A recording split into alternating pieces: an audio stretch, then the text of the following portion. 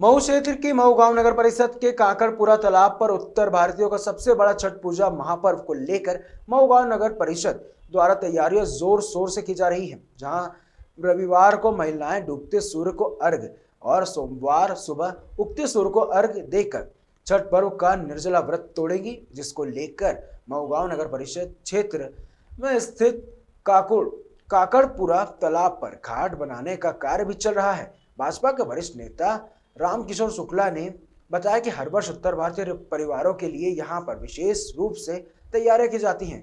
इस वर्ष भी तैयारियाँ ज़ोर शोर से चल रही हैं। काकरपुरा तालाब पर बड़ी संख्या में उत्तर भारतीय परिवारों महाछठ पूजन के लिए रविवार को पहुँचेंगे, जबकि इस तीन दिवसीय महापर्व की शुरुआत के दौरान शनिवार को समाज की महिलाओं द्वारा खरना के साथ ही 36 घंटे का निर्जला उपवास की शुरुआत की जाती है और छठ के दिन महिलाएँ नज़दीक के काकरपुरा तालाब में पानी में खड़े होकर परंपरा धार्मिक विधि विधान के साथ डूबते सूर्य को अर्घ देगी और सोमवार उगते सूर्य को अर्घ देने के साथ ही अपने पति के हाथों द्वारा व्रत तोड़कर महापर्व का समापन किया जाता है। तैयारियों का जायजा लेने भारतीय जनता पार्टी के वरिष्ठ नेता राम किशोर शुक्ला अपने साथियों के साथ निरीक्षण करने पहुँचे। कार्यक्रम स्थल पर निरीक्षण करने राम किशोर शुक्ला के साथ विकास दुबे, जेबी सिंह, लालजी पांडे, पंकज श्रीवास, विनय दुबे आदि प्रमुख रूप से थे। प्रतिवर्षानुसार महाछठ पर्व 30 अक्टूबर को मनाया जाएगा। और इस बार ज़्यादा जोश खरोश के साथ में सभी जितने भी उसके अनुयायी हैं वह पूरी श्रद्धा और लगन के साथ चार दिन पहले से ही बेदी आदि का निर्माण यहाँ प्रारंभ काकेरपुरा तालाब पे कर दिया गया है।